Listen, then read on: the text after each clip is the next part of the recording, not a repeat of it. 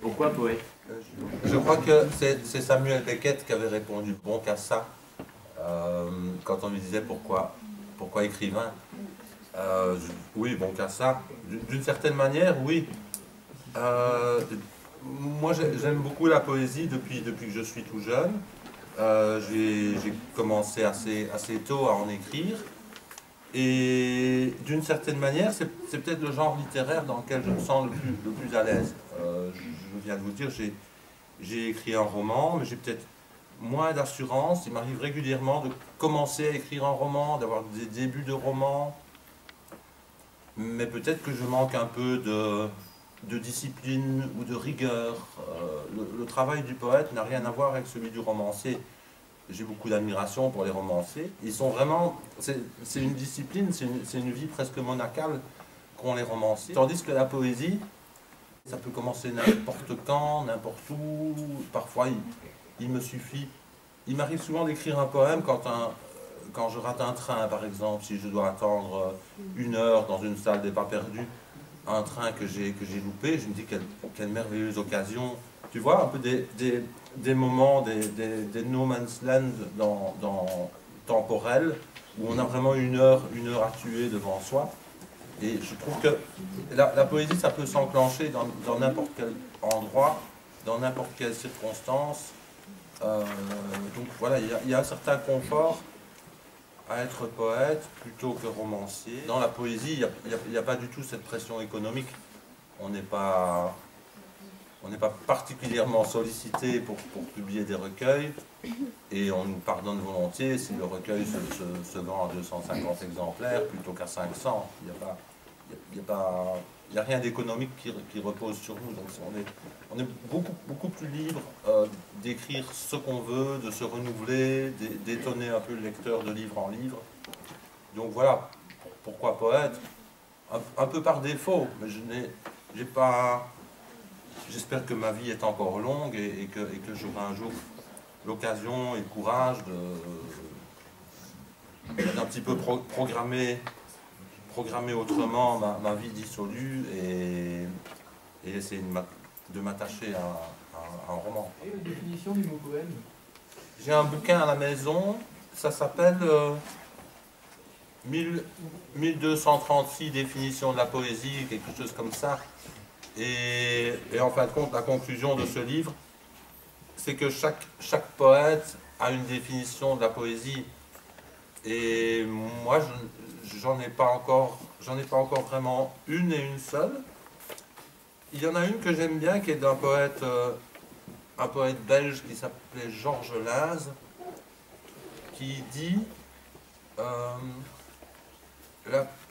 la poésie, c'est de montrer ce que les choses ordinaires ont d'extraordinaire. C'est plus ou moins c'est ça. Je ne sais pas si je cite euh, tout à fait bien. Mais, mais ça, j'aime bien. Je veux dire, voilà, un, poème, je crois qu'il doit être ancré dans le quotidien. Ça ne sert à rien d'aller chercher très très loin. Je veux dire, ça doit être quand même assez proche de moi. Mais d'une certaine manière, je, je- je vais essayer de mettre, de mettre en lumière ce qui, ce qui m'émerveille euh, dans, dans, ce quotidien. Et ce que j'ai l'impression, peut-être de manière un peu prétentieuse, d'être le seul à voir. Tu vois, d'essayer d'avoir un regard extraordinaire euh, sur les choses. Je, pense que c'est, comme ça pour tous. hein. Je quand, quand vous, quand vous écrivez un texte, quand vous écrivez un poème, euh, comme vous êtes traversé par, par votre histoire, votre culture, votre passé, votre lexique, euh, tout, ben, vous allez forcément, dans le poème, faire une œuvre complètement personnelle, complètement individuelle. C'est un peu ça ma définition du, poème, c'est de pas de parler de soi, mais de, montrer ce que notre regard sur les choses a, a, a d'o- a d'original et d'essayer de, de, de partager ça. Mais bon, il y a beaucoup d'autres définitions de la poésie.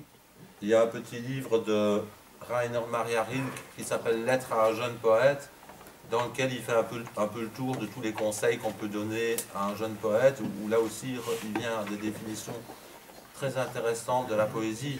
Mais je, vous dis, tapez, tapez poésie, définition sur Google, vous allez en trouver euh, des centaines. Il y, en, a que je, que je récuse complètement et que, je ne veux pas m'appliquer à moi. Mais il y en a beaucoup avec lesquels je suis, je suis assez, assez d'accord. Mais je vais peut-être euh, attendre d'avoir 80 ans pour donner ma définition de la poésie. Très honnêtement, euh, là maintenant, depuis quelques années, vraiment tout. Ma source d'inspiration, c'est souvent aussi les, poèmes des autres. Le fait de, lire beaucoup, ça m'inspire beaucoup, ça me, ça me nourrit beaucoup. Le titre, tout a emporté, vous parlez de vos souvenirs que vous emportez, de tout ce que vous avez vécu? Euh, Oui et non. En fait, tout emporté, je ne sais pas si c'est une anthologie. Hein. C'est c'est une, histoire étrange en fait. Euh, j'avais envoyé un manuscrit au Castor Astral, un recueil de poèmes que je venais de terminer. Et alors j'ai reçu une lettre euh, très, très gentille me disant c'est fini, on ne publie plus de poésie, euh, on a supprimé notre collection de poésie du catalogue, mais par contre, on a conservé la collection anthologie personnelle. Et, et j'avais un peu parlé avec Francis Danemark qui dirigeait la collection et qui me dit Regarde, on est en 2009, 2009 ou 2010, je ne sais plus. Il y a 20 ans que tu as publié ton premier recueil. Si on faisait une anthologie et tu, tu vas chercher toi-même, dans chacun de tes recueils, les, les, poèmes que tu auras envie de sauver ou de, de, présenter, et, etc. Le titre Tout emporté, ça je l'avais depuis longtemps. Euh, je trouvais que faire des choix, c'est tellement difficile déjà dans la vie de faire des choix. Alors faire des choix pour une anthologie, alors que, ben voilà, moi je voudrais toujours tout emporter. dire, euh, il y a une chanson de Philippe Châtel, que vous connaissez sûrement pas, c'est très vieux, c'est tout quitter mais tout emporter. Ben moi je suis un peu comme ça dans la vie, j'ai toujours envie de tout quitter mais de tout emporter. Voilà, voilà pourquoi, le, pourquoi le titre de, ce, de, cette, de cette anthologie dans laquelle il n'y a pas un seul texte inédit. Tout, avait déjà été publié ailleurs, chez, chez, d'autres éditeurs, et plusieurs des recueils étaient épuisés, et c'est pour ça que, que Danemark m'a donné, donné la chance de faire ce livre-là. Je pense que le retour vers la poésie, c'est aussi parce que les, poètes parlent de nouveau, euh, ont, de nouveau le, langage de tout le monde, et ça c'est bien.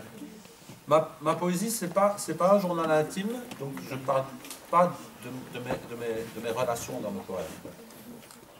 je parle de journal intime, j'avais inventé une expression qui s'appelait des carnets de doute. Vous voyez, il y a des gens qui tiennent des carnets de route. Moi, je tiens à des carnets de doute. Je trouve que le, poème, c'est un endroit où, où, on peut exprimer des, des questionnements, des... c'est un endroit qui va qui convient très bien au doute. Quand vous n'avez pas de certitude, si justement, si vous avez des certitudes, vous faites tout sauf un poème. Mais si vous avez des incertitudes, le, poème est un, est un bon média pour ça.